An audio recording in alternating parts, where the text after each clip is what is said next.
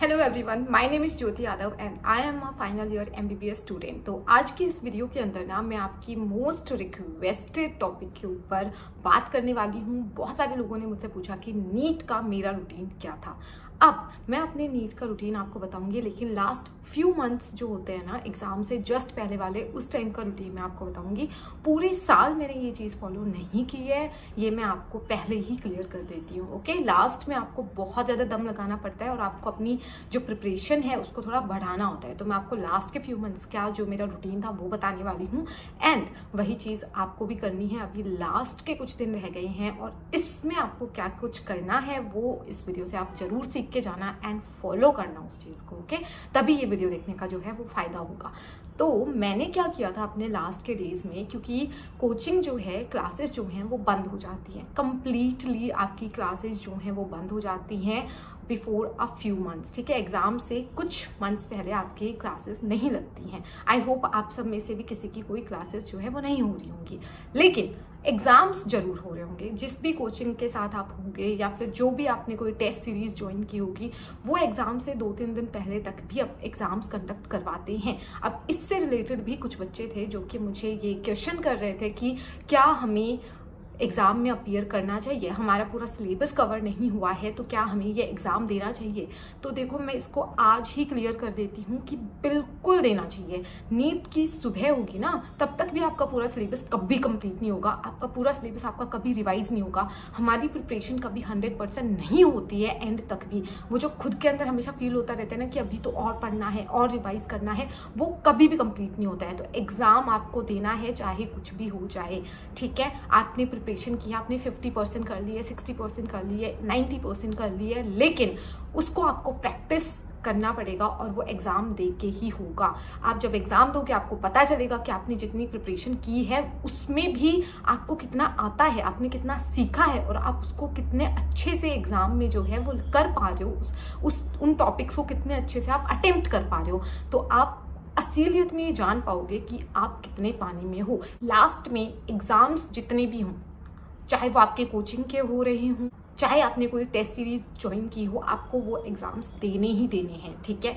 तो लास्ट का जो ये रूटीन होगा, मैंने सबसे पहले इसमें एग्ज़ाम्स क्यों बताई हैं? क्योंकि हमारे लास्ट के फ्यू मंथ्स में एग्ज़ाम्स ही होते हैं क्लासेस नहीं हो रही होती हैं। तो यही एग्ज़ाम जो है, जैसे कल आपका जिस भी चीज़ का एग्ज़ाम है, आप उस एग्ज़ाम ओरिएंटेड पढ़ाई कर सकते हो। मेरे साथ क्या होता था कि मेरा एक दिन छोड़ के एक दिन एग्ज़ाम होता था। तो मैं सिर्फ़ और सिर्फ़ उस एग्ज़ाम के लिए पढ़ती थी। उसके अंदर चार पाँच चैप्टर्स आते थे इंडिविजुअल सब्जेक्ट के एग्ज़ाम होते थे, फिर वीकली एग्ज़ाम होते थे जिसमें तीनों सब्जेक्ट्स होते थे तो मैं उस एग्ज़ाम के लिए पढ़ती थी। और मैं अपना पूरा ध्यान अपनी पूरी एनर्जी सिर्फ़ उस एग्ज़ाम के लिए प्रिपेयर करने में लगा देती थी और उसके बाद मैं वो एग्ज़ाम दे के आती थी। बाद में आके मैं अपनी आंसर की मैच करती थी और मैं देखती थी कि ये यूनिट मेरी कितनी सॉलिड हो गई है। और अगर मेरे उसमें बहुत अच्छे मार्क्स बन रहे थे, बहुत ज़्यादा नेगेटिव नहीं हो रहे थे तो मैं श्योर हो जाती थी कि हाँ ये यूनिट मेरी बहुत अच्छे से प्रिपेयर हो गई है। तो अब आपको क्या करना है? जो भी आप एग्ज़ाम दे रहे हो, जो भी आपने टेस्ट सीरीज़ ज्वाइन कर रखी है या जो भी आपने कोचिंग इंस्टीट्यूट ज्वाइन कर रखा है, आपको उसका एग्ज़ाम देना है और उसके एग्ज़ाम के लिए आपको पढ़ाई करनी है। ठीक है? अगर उसमें एक दिन का गैप है, उसके अंदर पाँच चैप्टर आ रहे हैं तो अब आपको पता चल गया है कि मुझे एक दिन में ये पाँच चैप्टर तो कंप्लीट करने ही पड़ेंगे ताकि मैं वो एग्ज़ाम दे सकूँ। अगर आप चार चैप्टर भी करते हो तो भी कोई बात नहीं एग्ज़ाम ज़रूर दे के आना। ठीक है?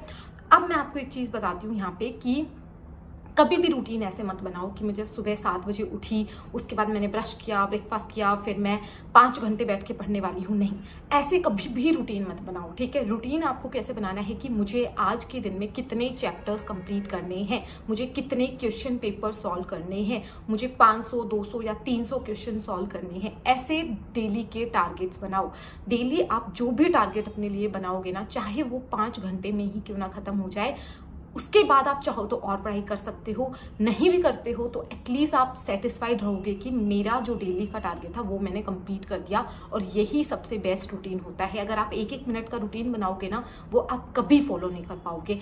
मैं नाइन्थ स्टैंडर्ड से ऐसा रूटीन बनाने की कोशिश कर रही हूँ, लेकिन वो कभी फॉलो नहीं होता है। लेकिन अगर आप डेली टारगेट्स बनाते हो, एक रफ शेड्यूल आप बनाते हो कि कल मुझे बायो के इतने चैप्टर्स पढ़ने हैं, कल मुझे फिजिक्स के इतने क्वेश्चन सॉल्व करने हैं तो उसके बाद चांसेस हैं कि आप वो टारगेट ज़रूर अचीव कर लोगे, ठीक है? टारगेट अचीव नहीं भी करते हो, सिर्फ़ एट्टी या नाइन्टी परसेंट अचीव कर लेते हो तो वो भी एक सक्सेसफुल डे था आपका, वो भी एक प्रोडक्टिव डे था आपका तो आप खुशी खुशी सोने जा सकते हो, ठीक है? कुछ ही दिन बच गए हैं और उस हिसाब से आपको टारगेट्स डिवाइड करने पड़ेंगे। हो सकता है आपको दिन के दस दस चैप्टर भी रखने पड़े बायो के रिवाइज करने के लिए, या हो सकता है आपको फिजिक्स के सौ सौ क्वेश्चन दो सौ दो सौ क्वेश्चन भी सॉल्व करने पड़े, लेकिन टारगेट्स इस हिसाब से डिवाइड करो कि एंड तक आपका पूरा सिलेबस जो है वो क्लियर हो जाए। अब देखो, यहाँ पे दो चीज़ें मिक्स हो गई हैं। एक आपकी टेस्ट के हिसाब से आप पढ़ोगे, दूसरा आप अपने टारगेट्स के हिसाब से पढ़ोगे। तो टेस्ट के लिए तो आपको पढ़ना ही है। अब टेस्ट के अंदर जो यूनिट्स कवर हो गई, उनको छोड़ दो। आपके पास पहले ही शेड्यूल आ जाता होगा कि इस दिन ये टेस्ट होगा, इस दिन ये टेस्ट होगा, इस सिलेबस का टेस्ट होगा तो वो आप टेस्ट के साथ पढ़ाई कर सकते हो, ठीक है? जो चीज़ें टेस्ट में कवर होने वाली नहीं है, जो आपको खुद से रिवाइज करनी है, उसके लिए आप टारगेट बनाओ, ठीक है? तो कन्फ्यूज़न पूरा दूर हो गया है है ना? दोनों चीज़ों को मिक्स मत करो। टेस्ट देने हैं टेस्ट के लिए पढ़ाई भी करनी है टेस्ट के लिए प्रिपरेशन भी करनी है ओके एंड टेस्ट में जो सारे चैप्टर्स जो सारे सब्जेक्ट कवर हो रहे हैं वो टेस्ट के साथ कवर करो एंड उसके अलावा जो बच जाता है, जिसके टेस्ट हो सकता है पहले हो गए होंगे या जो अब टेस्ट नहीं होने वाले हैं, ठीक है, उनके लिए आप डेली टारगेट सेट करो। तो इस हिसाब से आपका पूरा सिलेबस जो है वो कवर हो जाएगा और आपकी क्वेश्चन प्रैक्टिस भी बहुत अच्छी होगी क्योंकि आप टेस्ट देने जाओगे और जिन चैप्टर्स का आप टेस्ट नहीं दे पाओगे, जो पहले कंडक्ट हो चुके हैं या जिनके कोई टेस्ट नहीं हो रहा है, वो आप खुद से क्वेश्चन प्रैक्टिस करोगे, ठीक है? तो यही आपका रूटीन होना चाहिए। मैं ये नहीं बताने वाली आपको कि सुबह उठ के नहाना है, नहीं नहाना है, कितना सोना है, पाँच घंटे सोना है छः घंटे सोना है। हो सकता है किसी दिन आप आठ घंटे सो पाओ। हो सकता है आपने टारगेट अचीव कर लिया एंड आप आठ घंटे सो पा रहे हो। सकता है किसी दिन आपका टारगेट हो नहीं रहा है, लेकिन आपको वो कंप्लीट करने की पूरी कोशिश करनी है, चाहे थोड़ी सी नींद आपको त्यागनी पड़े, चाहे आप चार या पाँच घंटे ही सो पाओ उस दिन, ठीक है? क्योंकि एग्ज़ाम से पहले ये कुछ दिन है, अच्छे से यूटिलाइज कर लो। एग्ज़ाम से जस्ट पहले वाली रात अच्छे से सो के जाना है, ठीक है? उस दिन कोई रश नहीं होना चाहिए, उस दिन कोई टारगेट कंप्लीट करने की जल्दबाजी नहीं होनी चाहिए, उस दिन नींद खराब नहीं करनी है। सोना इज़ वेरी इंपॉर्टेंट जब आप एम में आओगे, जब आप फ़र्स्ट ईयर में आओगे और यहाँ पे जब फ़र्स्ट ईयर में आके आप फिजियोलॉजी पढ़ोगे ना तो आपको स्लीप वेक साइकिल आप पढ़ोगे और आपको पता चलेगा कि जब हम सोते हैं, जो आर ई एम स्लीप होती है, जो कि सिर्फ़ रात को हमारी आर ई स्लीप होती है, उस दौरान कितने फ़ायदे, कितने बेनिफिट्स कितनी मेमोरी के लिए हमारी वो अच्छी है, ठीक है? तो आप वो सब चीज़ें यहाँ आके ज़रूर पढ़ोगे और फिर आपको रियलाइज़ होगा कि रात को सोना कितना इंपॉर्टेंट है।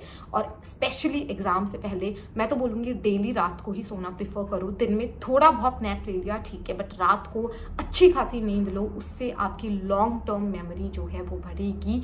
एंड आपकी जितनी भी चीज़ें जितनी भी चीज़ें आपके दिमाग में जो खराब खराब भरी हुई हैं भी फालतू की चीज़ें भरी हुई है ना, उसको आपका ब्रेन क्लियर करता है क्लीन करता है एंड आपकी शॉर्ट टर्म मेमोरी से जो चीज़ें होती हैं, वो लॉन्ग टर्म मेमोरी में ट्रांसफ़र करता है। इसलिए आर ई एम स्लीप रात को सोना छः से सात घंटे is very important okay and ये एग्ज़ाम से पहले आपको करना है। और हो सके तो दिन में अभी भी कुछ दिन बचे हैं। दिन में बिल्कुल टाइम वेस्ट मत करो।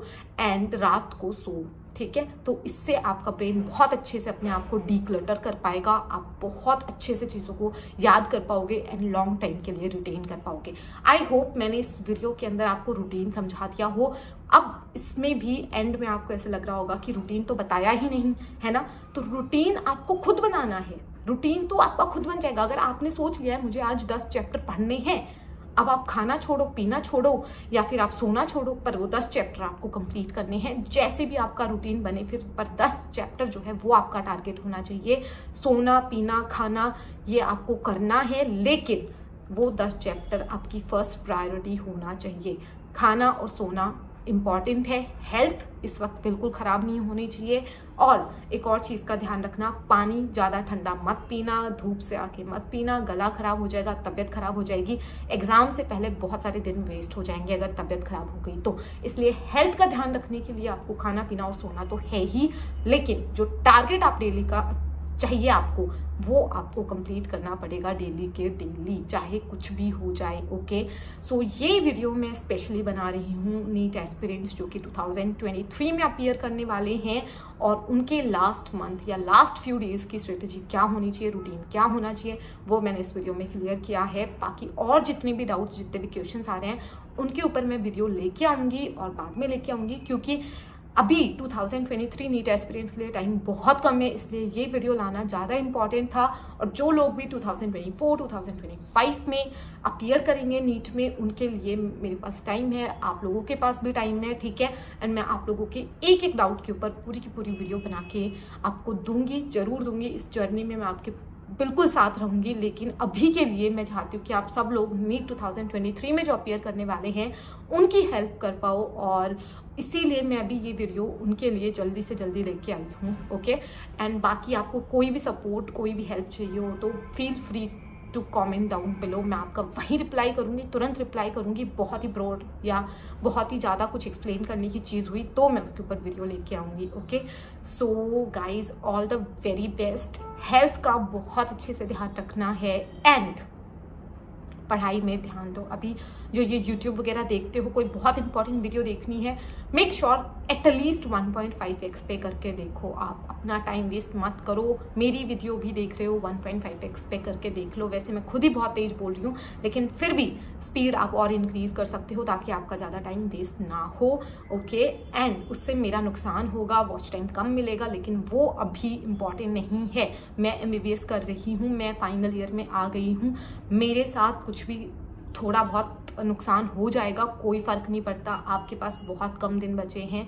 आप अभी टाइम वेस्ट मत करो। नेक्स्ट मंथ इसी टाइम आप और हम बहुत फ्री होंगे, ठीक है? उस वक्त हम आराम से बहुत टाइम वेस्ट कर सकते हैं यूट्यूब पे भी इंस्टाग्राम पे भी, हर जगह, लेकिन अभी आप टाइम वेस्ट नहीं करोगे। डेली के टारगेट बनाओगे डेली उस टारगेट को अचीव करोगे, ठीक है? आपको रात को ये सेटिस्फैक्शन के साथ सोना है कि मैंने जो टारगेट आज के लिए डिसाइड किया था, वो मैंने अचीव किया।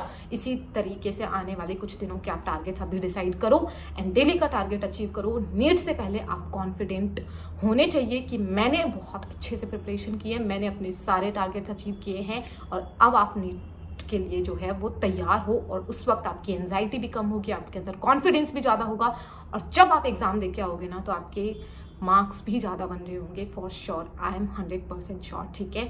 मेरी नीड स्ट्रेटजी की वीडियो आप देख सकते हो जाके एंड अगर आपको बिल्कुल डीमोटिवेशन हो रहा है अगर आपको थोड़ा भी पॉजिटिविटी चाहिए और आपके पास थोड़ा सा टाइम एक्स्ट्रा है तो लाइफ आफ्टर नीट ठीक है? एमबीबीएस लाइफ कैसी होती है उसके ऊपर मैंने वीडियो बनाई है वो देखो आपको बहुत मोटिवेशन मिलेगा बहुत पॉजिटिव वाइब्स मिलेंगी क्योंकि मुझे वो चीज़ें अट्रैक्ट करती हैं जैसे मैं अभी एमबीबीएस कर रही हूँ तो पोस्ट ग्रेजुएशन के वक्त लाइफ कैसी होगी वो मुझे बहुत जो है इंस्पायर करती हैं चीज़ें एंड वो मेरा एक यू you नो know, वो मुझे बूस्ट करती हैं एमबीबीएस में अच्छा करने के लिए एमबीबीएस में अच्छे से पढ़ने के लिए और एक अच्छी पीजी पीजी की सीट लेने के लिए। तो मुझे भी लगता है कि आप लोगों के लिए मेरी लाइफ या एमबीबीएस की लाइफ जो है वो इंस्पायरिंग हो सकती है और हो सकता है वो आपको उतना जोश दे दे कि आप लास्ट के कुछ दिनों में भी जान से मेहनत करो, ठीक है?